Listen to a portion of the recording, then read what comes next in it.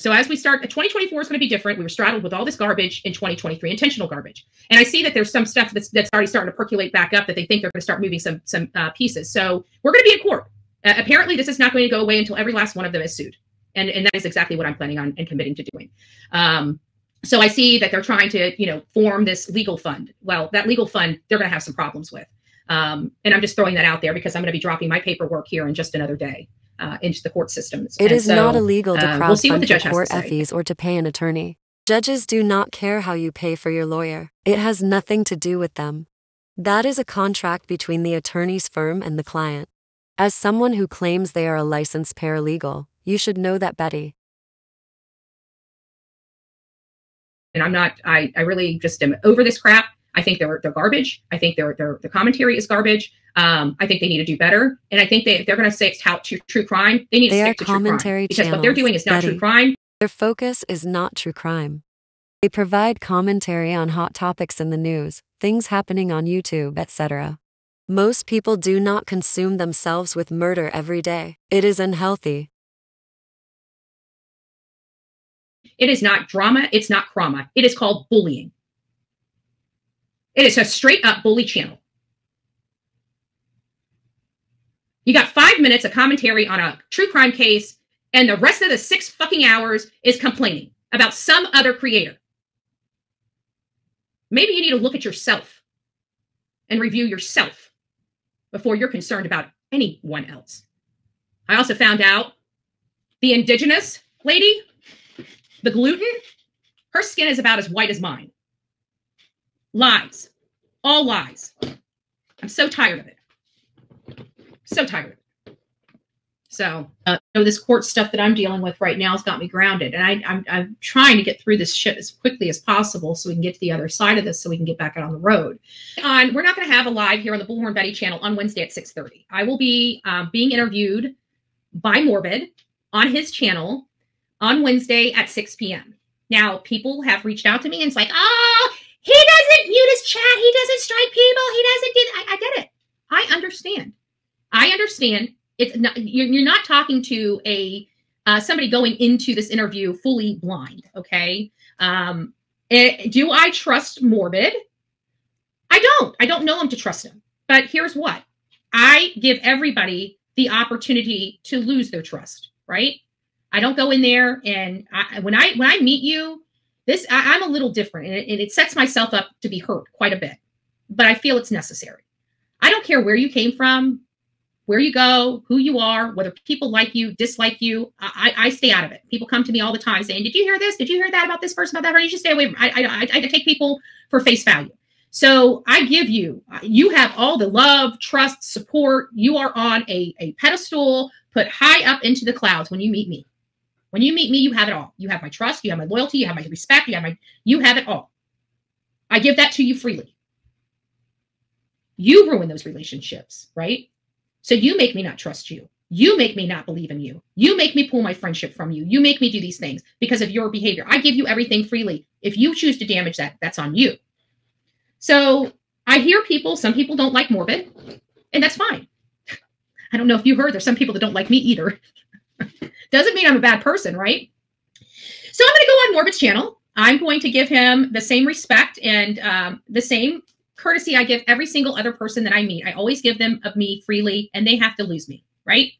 So we're going to go on there.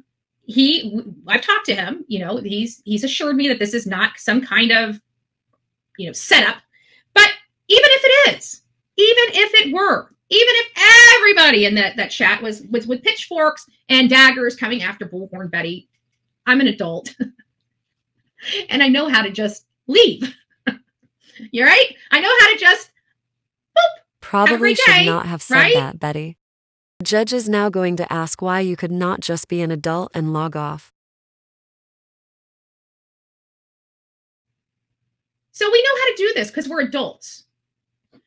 So I'm going to go there. I'm giving him the opportunity. I think, I, to be honest with you, I talked to the guy. I mean, you know, we are, we're all out here trying to to do our our creative, you know, niche, right? We all have our our our creative juice. We all try to do things. I, I think for the most part, you know, people are good people, whether they get sucked into crap or not. I truly believe that there's a lot more good people, even though they act very poorly to be cool or to be noticed or to have, you know, to buy their friendships with these creators or whatever.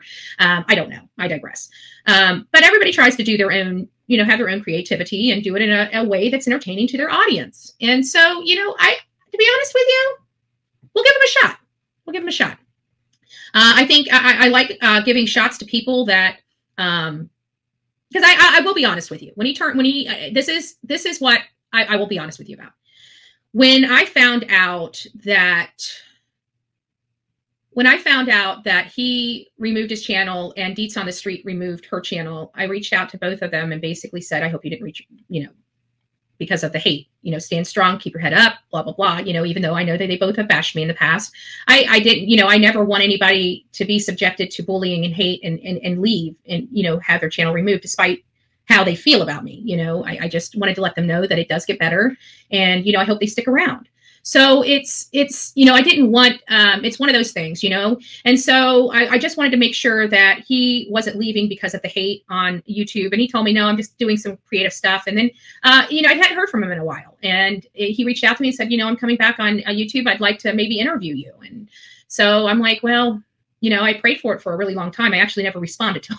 I responded to him, but I never answered the question. I never answered the question. And so like a month went by, you know, and I had technical issues with my phone. And then um, I, I, and then all of a sudden one day I look and there's a text message saying, Hey, you know, I'd really like to interview you. And, you know, I know you can't talk about this, but I'd like to talk to you about other stuff. You know, do you have any particular stuff? I'm like, no, I kind of go with the flow. I always say that to anybody because I like to see the type of questions they ask you know are they are they antagonistic? You know I, am oh you guys know me. I'm always analyzing people. I'm always uh, looking to see what makes people tick. I'm always trying to identify personalities and tr- it just it, it goes on organically in my brain. I don't even realize it does it. I just do it. It, it, it just it's weird. I, I am weird. I, I don't know what to say okay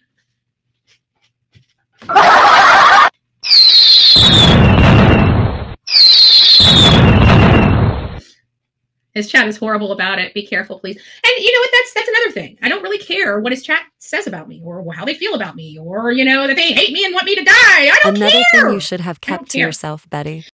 A portion of your lawsuit specifically states that QB's chat has caused you emotional distress. But today you admit criticism in a chat does not bother you at all. You do not care. So which is it? Um, so it's it's not it's you know I, am happy to help out. I'm happy to help out. He hasn't done anything to me personally. As a matter of fact, he, he, he serenaded me. Remember, I had to, I had to turn him down. I had to turn him down live here on the, the Bullhorn Betty channel. I'm sorry. Sorry, sorry, Betty. We, we know, we know. You serenaded me. Just, you know, whatever. I digress. I digress. So what do we say? They ended up being like Bash and liking BHB. yeah, you never know. You never know. I'm really not a bad person. Like they, the, the, reason why people hate me so much is because they, they, they, they think I was horrible person. I mean, shit, if you looked at half those thumbnails and listened to the description of these people that have never met me before or never had a conversation with me and never said boo to me, never even understood what makes me tick talking crap, like I would think I was a horrible person too. But now I've been on here for two years and people see the work I do and know I do work well. They're jealous.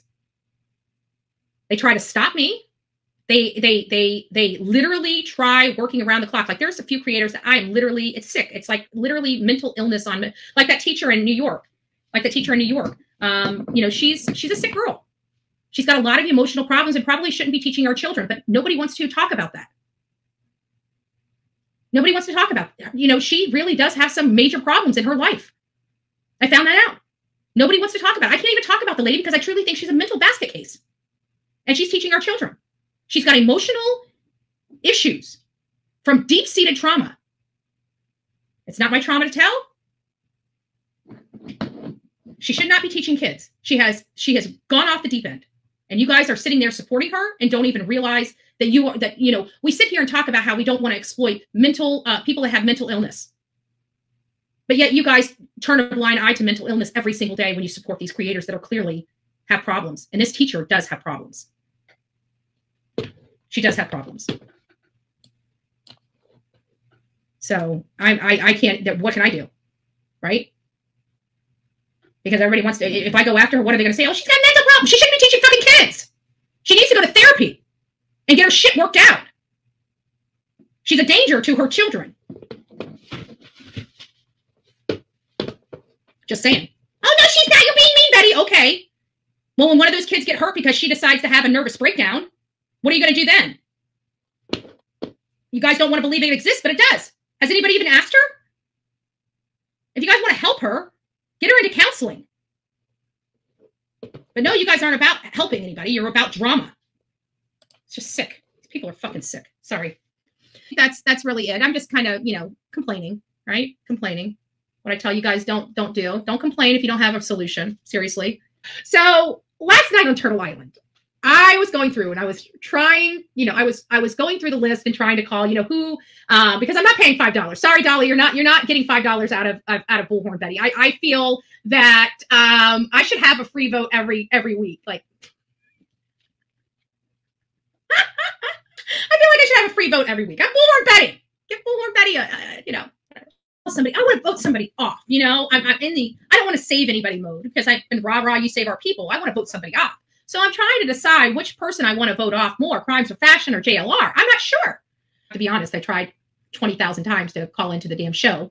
Dolly, Bullhorn Betty needs her own line. PJ, do something about this this issue I'm having here with your, your man, okay? Uh, when I need to call into the show because my vote matters, it's all about Betty. People do this to me. But I'm still here doing this back to you. So now that we know we're Do we think we poked enough fun? Did we trigger anybody today? I hope we did. That's my bread and butter, right? Triggering people. I think I'm good at it. They call it being rude and unprofessional. I call it YouTube.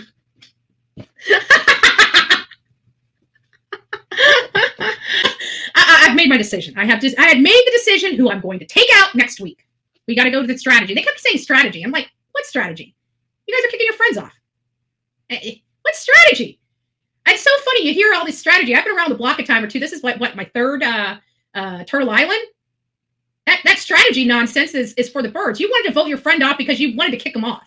Quit quit trying to be nice and say, "Oh, it's just strategy." you secretly didn't like them, and you said, "Bitch, you gotta go." Don't lie.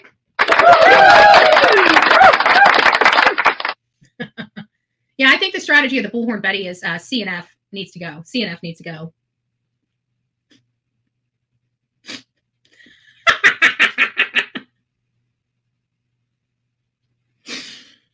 I'm not going there.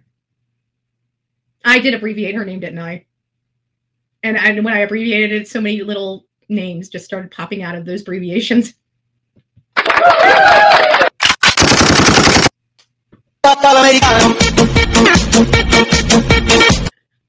CNF to go. I need to stop. I need to stop. I'm going straight to hell. I'm going straight to hell. Robin, save me! Save me from myself, please. Go make it a great day. Get out of here. It's Monday. Okay. Go go have your manic Monday somewhere else. Don't forget to rock it out with your coffee beans out.